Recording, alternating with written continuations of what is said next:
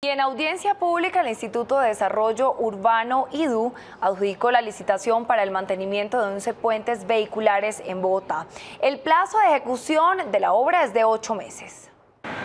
11 puentes vehiculares de Bogotá priorizados por su grado de deterioro serán intervenidos en los próximos meses. La obra fue adjudicada en audiencia pública al proponente Yamil Montenegro Calderón y comprenderá estudios, diseños y obras de mantenimiento de las estructuras ya existentes. Consisten en el cambio de carpeta asfáltica, en eh, arreglo de juntas, y en arreglo de barandas.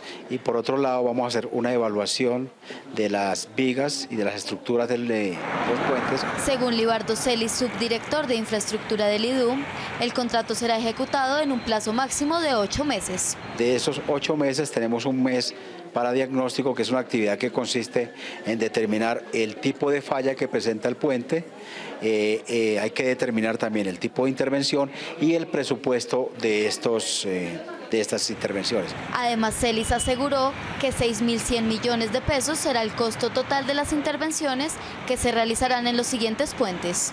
Avenida Calle 80 por Avenida Calle 68, Autopista Sur por Avenida Villavicencio, Avenida Centenario Calle 13 por Avenida Calle 68.